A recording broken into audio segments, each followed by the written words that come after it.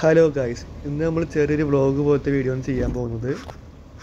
അപ്പോൾ നമ്മൾ വണ്ടി കിട്ടിയിട്ട് ഏകദേശം ഒരു രണ്ട് ദിവസത്തോളമായി അപ്പോൾ രണ്ട് ദിവസം വണ്ടി ബോഡി പണി ചെയ്യിപ്പിക്കാൻ എവിടെ നല്ല സ്ഥലം എന്നുള്ള അന്വേഷിച്ചു അന്വേഷിച്ചുകൊണ്ടിരിക്കുകയായിരുന്നു അപ്പോൾ കുറേ സ്ഥലത്ത് അന്വേഷിച്ചു. കുന്നംകുളം അങ്ങനെ കുറേ സ്ഥലത്ത് അന്വേഷിച്ച് നോക്കി. ലാസ്റ്റ് പട്ടാമ്പിയിലാണ് കുറച്ച് റേറ്റ് കുറച്ചിട്ട് പണി ചെയ്യിപ്പിച്ച് തരാമെന്ന് പറഞ്ഞത്.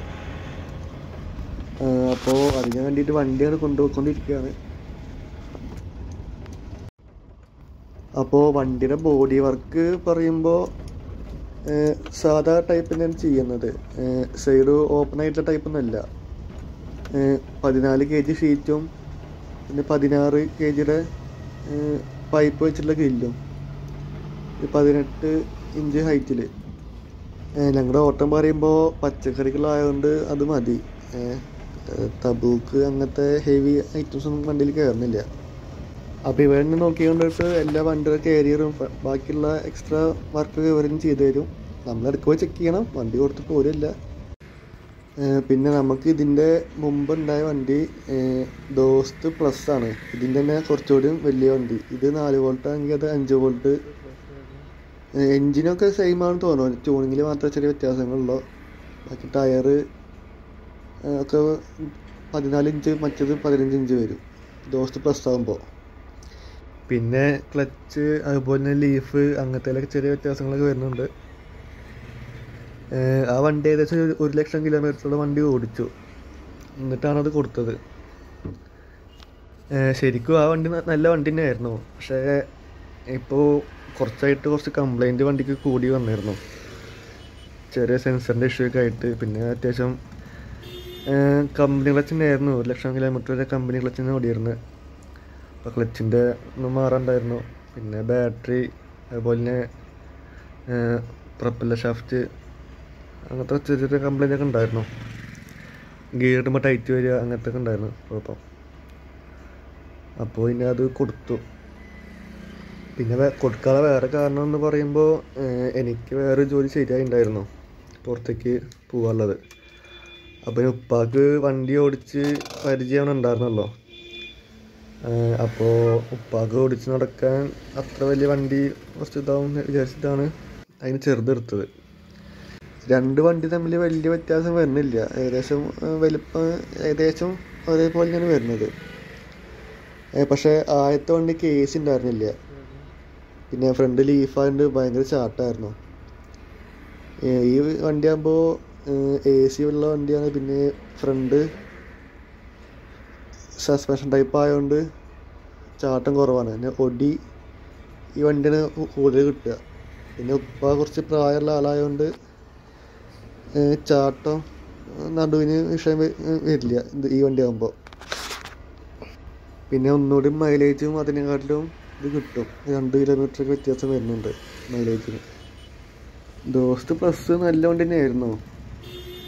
നല്ല പവറും ലോഡിങ് ഏരിയ ഒക്കെ നല്ല ഉള്ള വണ്ടി തന്നെയായിരുന്നു. പക്ഷെ പച്ചക്കറിക്ക് പറഞ്ഞ വണ്ടി ആയതുകൊണ്ട് വണ്ടി എപ്പോഴും കണ്ടീഷൻ ആയിരിക്കണം. പിന്നെ വേറൊരു കാരണം എന്താണെന്ന് വെച്ചാൽ ശരിക്കും ഇനി അത്ര വലിയ വണ്ടി ആവശ്യമില്ല. ഇനി കച്ചവടം ഒന്ന് ഒതുക്കിയിട്ട് ഈ ഉഡായിപ്പ് ടീംസിനൊക്കെ ഒഴിവാക്കിയിട്ട് നല്ല ആൾക്കാർക്ക് മാത്രമേ സാധനം കൊടുക്കുന്നുള്ളൂ അപ്പോൾ അതൊക്കെ ഒരു കാര്യങ്ങളായിട്ട് കൂട്ടാം. പിന്നെ ഇത് പുതിയ വണ്ടി ആയാലും ഇതിന് കുറച്ച് വർക്കൊക്കെ ചെയ്യാറുണ്ട് വർക്ക് പറഞ്ഞാൽ ചെറിയ ചെറിയ വർക്കുകളൊക്കെ ഉള്ളൂ മറ്റേ കോസ്മെറ്റിക് ആയിട്ടുള്ള കുറച്ച് വർക്കുകളാണ്. ഷോറൂമിൽ നിന്ന് ഷോറൂമിൽ നിന്ന് കാര്യമായിട്ടുള്ള ആക്സസറീസ് ഒന്നും വണ്ടിക്ക് കിട്ടിയിട്ടില്ല. ഒരു മാറ്റ് മേടിച്ച് തരണം. അതുപോലെ ഇവിടെ ഒരു കുഷയും അടിച്ചു തരണം.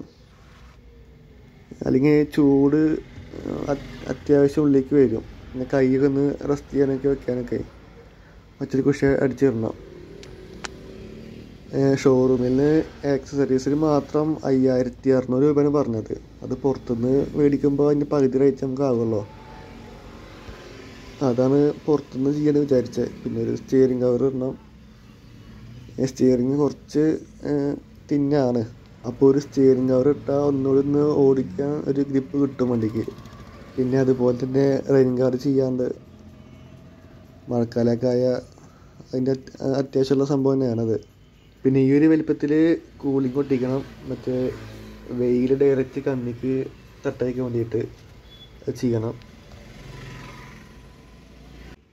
അത്ര തന്നെ ചെയ്യാനുള്ള ബേസിക് ആയിട്ടുള്ള കുറച്ച് വർക്കുകളൊന്നുള്ളൂ പിന്നെ ഇതിന്റെ എ സിനെ വെച്ച് പറയാ വെച്ചാൽ നല്ല കൂളിങ്ങുള്ള എ സി തന്നെയാണ് വരുന്നത്.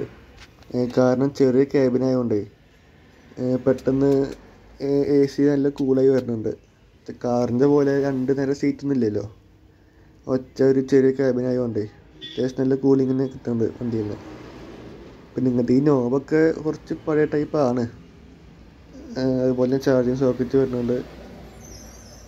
അത്യാവശ്യം ബേസിക് വേണ്ട കാര്യങ്ങളൊക്കെ കമ്പനി കൊടുത്തിട്ടുണ്ട്. അപ്പം ഇനി വണ്ടി വർക്ക് കഴിഞ്ഞിട്ട് ഞാൻ വണ്ടിയുടെ ഫുള്ള് ലുക്ക് കാണിച്ചു തരാം. അപ്പോൾ ഫസ്റ്റ് ടൈമാണ് ഒരു വ്ളോഗ് പോലത്തെ ഒരു വീഡിയോ ചെയ്യുന്നത് പിന്നെ വണ്ടിയുടെ റിവ്യൂ മുമ്പത്തെ വീഡിയോയിൽ ചെയ്തിട്ടുണ്ട്. അപ്പോൾ ആർക്കെങ്കിലും കാണാൻ താല്പര്യം ഉണ്ടെങ്കിൽ ജസ്റ്റ് ഒന്ന് പോയിട്ടൊന്ന് കണ്ടു നോക്കുക. അപ്പോൾ വീഡിയോ നിർത്തുകയാണ്. വീഡിയോ ഇഷ്ടപ്പെട്ടാൽ ലൈക്ക് ചെയ്യുക ഷെയർ ചെയ്യുക സബ്സ്ക്രൈബ് ചെയ്യുക. എന്തെങ്കിലും അഭിപ്രായം ഉണ്ടെങ്കിൽ ജസ്റ്റ് ഒന്ന് കമന്റ് ചെയ്യുക. Okay thank you